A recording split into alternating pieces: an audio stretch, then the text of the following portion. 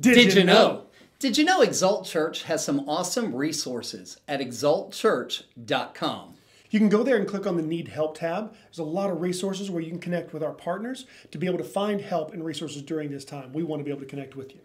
Did you need prayer? There's a tab where you can click on prayer, where we have a team standing by to pray over your needs.